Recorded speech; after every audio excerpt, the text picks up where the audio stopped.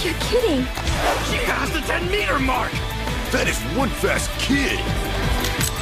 Die, you varmint! I'll blast you to hell! Looks like someone's out of bullets!